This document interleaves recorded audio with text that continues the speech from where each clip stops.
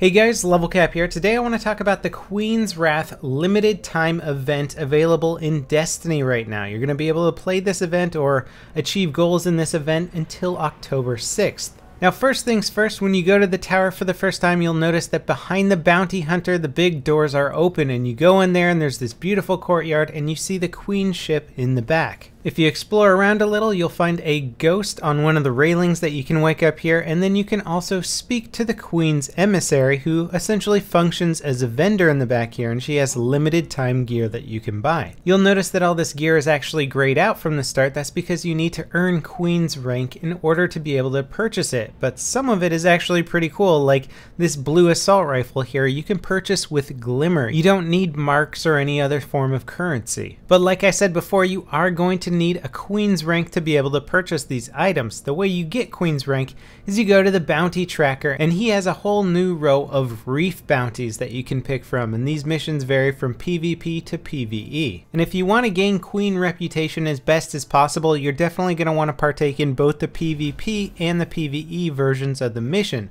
They're not too hard, but they might take a little while, especially some of the headshot PvP missions. And like normal bounties, I believe these will refresh each so you'll have a whole new set of missions tomorrow. Now having a good variety of bounties is a nice little addition to the game even if it is only temporary, but there's an added layer to what's going on here. When you turn in bounties, you're basically going to get little mission cards in your inventory.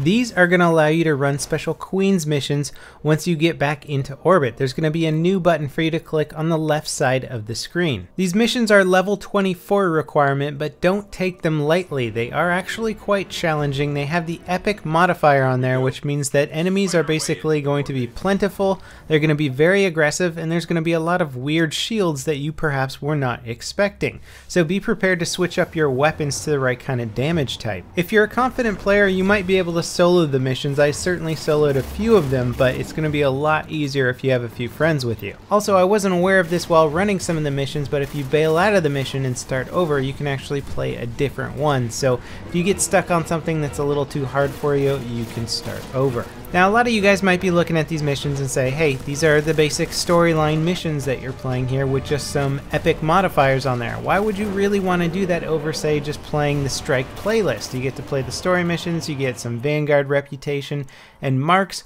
Well, the Queen's missions, once you complete them, and you do have to beat them, you will get a piece of legendary armor. You also have the chance of getting a legendary spaceship. I don't know if anything else has dropped yet. I've been kind of checking Reddit and seeing what else people have gotten from this. But basically, you should be able to get a full set of legendary armor.